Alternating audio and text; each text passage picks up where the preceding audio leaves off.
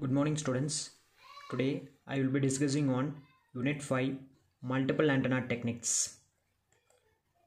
The outline consists of MIMO system, transmitter diversity, receiver diversity, spatial multiplexing, beamforming, precoding, channel state information, capacity in fading and non-fading channels.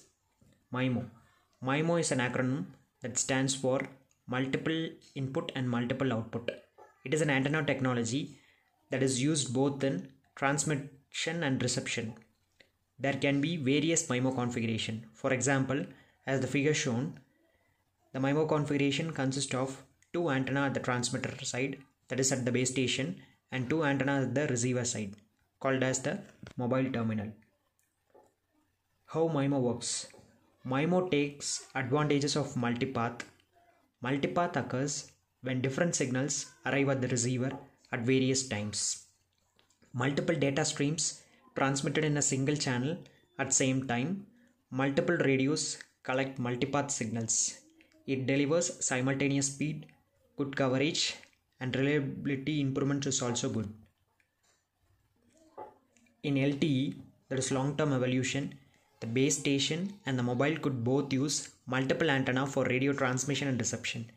In LTE, there are three main multiple antenna techniques. Number one is diversity processing. Number two is spatial multiplexing. Number three is beamforming. Diversity processing.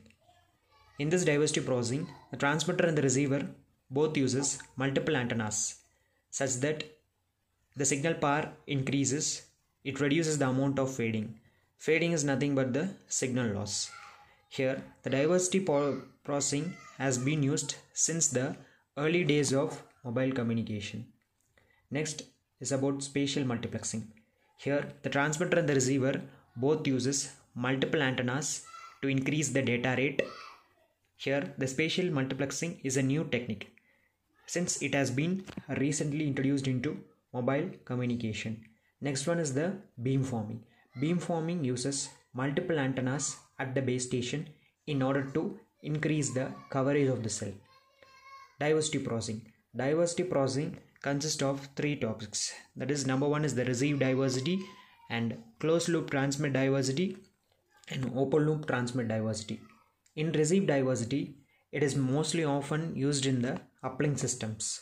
So uh, see the diagram here the base station use two antennas to pick up two copies of the received signals.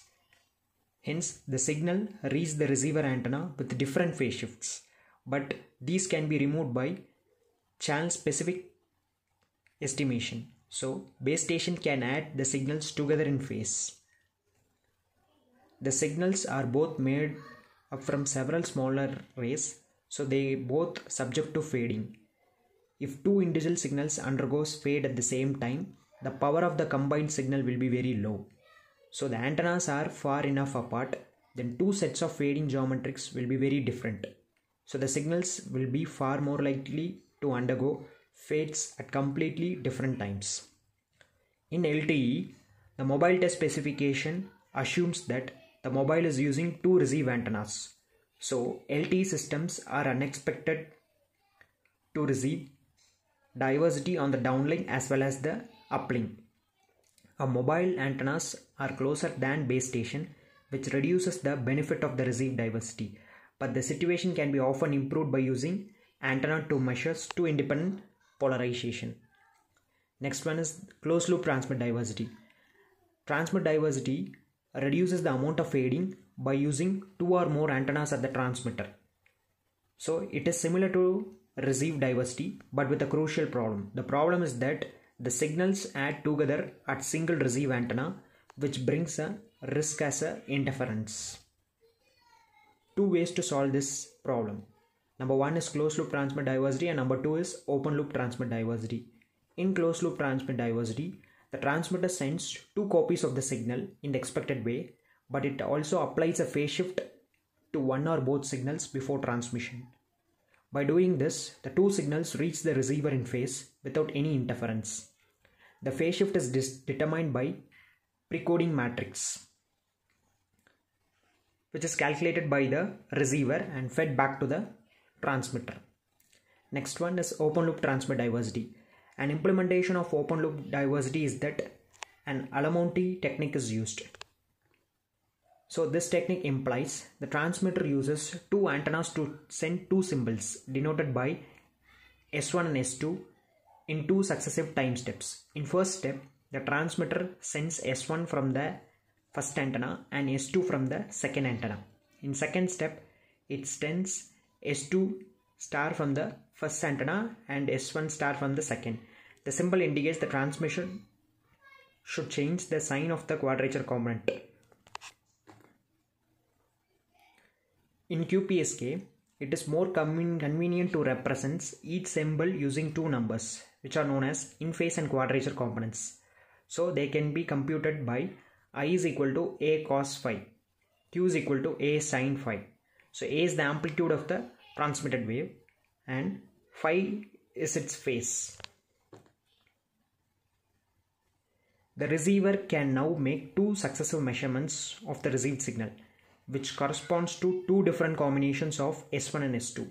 It can then solve the resulting equation so as to recover the true transmitted symbols. There are only two requirements. Number one, the fading pattern must stay roughly the same between the first step and the second step. The two signals must not undergo fades at the same time. So both the requirements are usually met. We can combine both open loop and closed loop transmit diversity with the receiver diversity techniques giving a system that carries out diversity processing using multiple antennas both at the transmitter as well as the receiver. The next one is the spatial multiplexing. If the transmitter and the receiver both have multiple antennas, then we can set up multiple parallel data streams between them in order to increase the data rate. For example, the system with NT transmit and NR receive antenna often known as NT cross NR in spatial multiplexing system a basic spatial multiplexing system in which the transmitter and receiver both have two antennas namely. In the transmitter the antenna mapper takes symbols from the modulator two at a time and sends one symbol to each antenna. The antenna transmit the two symbols simultaneously in order to double the data rate. The symbol travel to receive the antenna by way of four separate radio parts. So the received signal can be written as y1 which is equal to h11 x1 plus h12 x2 plus n1. Similarly, y2 which is equal to h21 into x1 plus h22 x2 plus n2. x1 and x2 are the signals sent from the two transmit antenna. y1 and y2 are the signals that arrive at two receive antenna. n1 and n2 represents the noise as well as the interference. hij expresses the way in which the transmitted symbols are attenuated and phase shifted. In general, all the terms in the equation above are complex. In the transmitted and the received symbols, xj and xo, yj and the noise terms ni, the real and the imaginary parts are the amplitudes of the in-phase and quadrature components. In each of the channel elements, hij, the magnitude represents the attenuation of the radio signals, the phase represents the phase shift. So we can simplify this by using real numbers alone. We assume the transmitter is modulating the bits using binary phase shift keying. So the in-phase components are plus 1 and minus 1 respectively. The quadrature components are 0. We will also assume that radio channel can attenuate or invert the signal but does not introduce any other phase shifts. Next one is beamforming. So the beam forming consists of the following topics. Number one is principle of operation. Number two is beam steering. Number three is dual layer beam forming. Number one, beam forming. So in beam forming, the principles of operations is that the base station uses multiple antennas in a completely different way to increase its coverage. Here the diagram shows two user equipment. User equipment 1 user equipment 2 so the user equipment 1 is long away from the base station. On a line of sight that is right angles to the antenna array. So they interfere constructively and the received signal power is high. But considering the user equipment 2 it is an oblique angle and receives signals from alternate antennas that are 180 degree out of phase. So they interfere destructively. So the received signal power is very low. The bandwidth is narrower than one from a single antenna. So the transmitted power is focused towards mobile 1.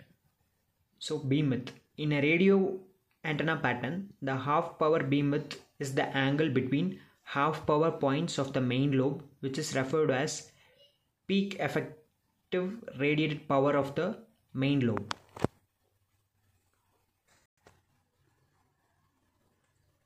By applying a phase ramp to the transmitted signal, we can change the direction at which the constructive interference arises so we can direct the beam towards any direction we choose. Generally, we can adjust the amplitude and phase of the transmitted signal by applying a suitable set of antenna weights. Next one is beam steering. Here we can see how the beam steer as well as to calculate the antenna weight. For the reception beam on the uplink, there are two main techniques. Number one is using the reference signal technique and number two is direction of arrival technique. In reference signal technique, the base station adjusts the antenna weight to reconstruct the reference symbol with correct signal phase and the greatest possible signal to interfere with plus noise ratio that is SINR signal to interference plus noise ratio. Then in direction of arrival technique, the base station measures the signal that are received by each antenna and estimate the direction of target mobile. From this, we can estimate the antenna weights that are needed for the reception. For the transmission beams on the downlink, we can calculate the antenna weight and steer the beam depends on two modes of operation. Number one is time mode and number two is frequency mode. In time mode, the uplink and the downlink use same carrier frequency such that same antenna weights on the downlink is calculated for uplink. The carrier frequencies are different in the frequency mode, so the downlink antenna are different and harder to estimate. For this reason, beamforming is more common in systems that are using in time domain rather than frequency domain. The next one is dual layer beamforming. In this technique, the base station sends two different data streams into an antenna array instead of just one.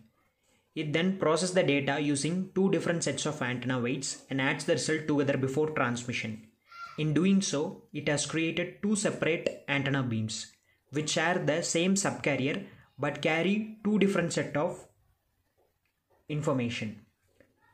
The base station can adjust the antenna weight so as to steer the beam at two different mobiles. So the first mobile receive constructive interference from beam 1 and at the beam 2 it receives the destructive interference as well as vice versa. By doing this, the base station can double the capacity of the cell. Alternatively, the base station steer the beam to two different antenna on a single mobile so as to double the mobile data rate. The next topic is about precoding. Precoding is nothing but it is a generalization of beamforming to support multi-layer transmission in multi-antenna wireless communication. There are two types of precoding technique. Number one is single user MIMO and number two is multi-user MIMO. In single user MIMO, transmitter equipped with multiple antenna to communicate the receiver that has multiple antenna. In multi-user MIMO, a multiple antenna transmitter communicates simultaneously with multiple receiver. The next topic is about channel state information. The channel state information represents the properties of a communication link between the transmitter and the receiver. It describes how a signal propagates from a transmitter to the receiver and represents the combined effect of scattering, fading, and power delay. So, channel state information plays a vital role in MIMO system in order to increase the data rate, coverage, as well as to improve the efficiency and to reduce the complexity. So, CSI is estimated at the receiver side, usually called as short term CSI. It is otherwise called as statistical CSI because it depends on characterization of the channel state. The next topic is about capacity in fading and non-fading channels. Here, the channel can be classified at the transmitter and the receiver. So the channel unknown to the transmitter.